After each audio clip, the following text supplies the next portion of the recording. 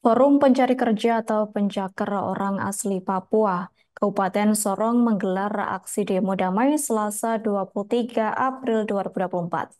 Adapun pendemo meminta penjabat atau PJ Bupati Sorong Edison Siagian untuk mendengarkan langsung aspirasi dari para pencakar. Selain itu, pendemo juga mengancam akan membakar ban bekas di depan halaman kantor Bupati Kabupaten Sorong. Untuk informasi selengkapnya akan disampaikan langsung oleh rekan wartawan Tribun Sorong. Taufik Nuhuyanan, silakan untuk laporan lengkapnya. Baik rekan Cina dan Tribuners di mana pun Anda berada dapat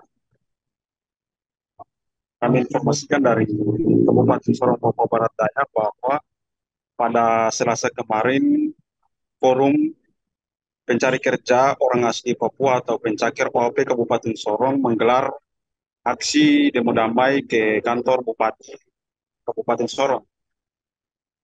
Di mana aksi ini sendiri bertujuan untuk meminta kejelasan kepada pemerintah Kabupaten Sorong soal formasi penerimaan uh, kota CPNS bagi OAP sendiri di Kabupaten Sorong Papua Barat Daya. Forum pencakir ini sebelumnya menggelar long march dari uh, Tugu Merah Kabupaten Sorong menuju ke kantor Bupati Sorong. Setibanya pendemo di kantor Bupati Sorong, uh, para pendemo diterima oleh para pejabat pemerintah setempat di lingkup pemerintah Kabupaten Sorong, di mana uh, ah, PJ Bupati Sorong sendiri menggelar agenda pemerintahan sehingga belum sempat menemui para pendemo yang menggelar aksi di depan kantor Bupati Sorong. Sembari menunggu uh, PJ Bupati Sorong menemui para pendemo, para pendemo silih berganti menyampaikan aspirasi dan orasi. Selain itu, para pendemo juga uh, meminta agar para pejabat segera menghadirkan PJ Bupati secara langsung mendengarkan aspirasi yang mereka sampaikan.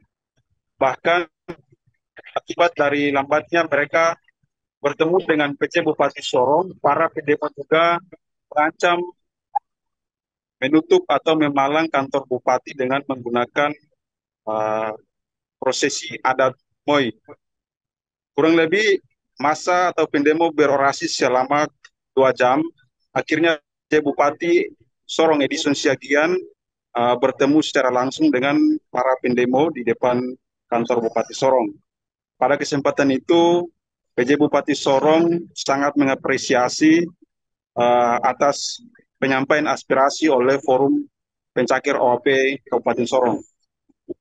Pada kesempatan yang sama, PJ Bupati Sorong Edison Siagian juga menyampaikan bahwa uh, akan menerima dengan baik aspirasi yang disampaikan oleh para pedemo.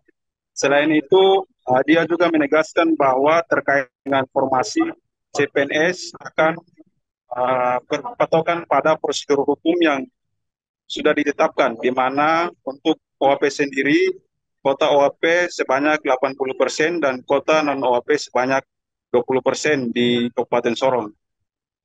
Selain itu, PJ Bupati Sorong juga uh, meminta para pendemo untuk menyampaikan aspirasi dan akan menunggu uh, pembahasan lebih lanjut bersama dengan PJ Gubernur Papua Barat Daya soal kota penerimaan uh, CNS di Kabupaten Sorong sendiri. Uh, setelah menyampaikan maksud dan tujuan serta penjelasan kepada para pendemo, para pendemo juga menerima dengan baik hingga uh, para pendemo menyerahkan poin beberapa poin tuntutan secara langsung kepada PJ Bupati Sorong. Demikian rekan Dila yang dapat kami informasikan dari Kabupaten Sorong, Papua Barat Daya. Baik, terima kasih untuk informasi lengkapnya. Silakan bertugas kembali.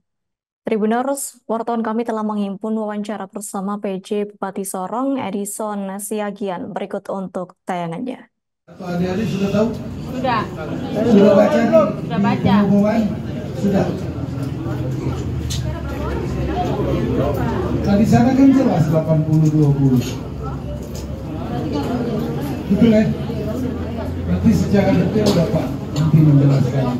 Hal-hal yang disampaikan lewat apa tadi?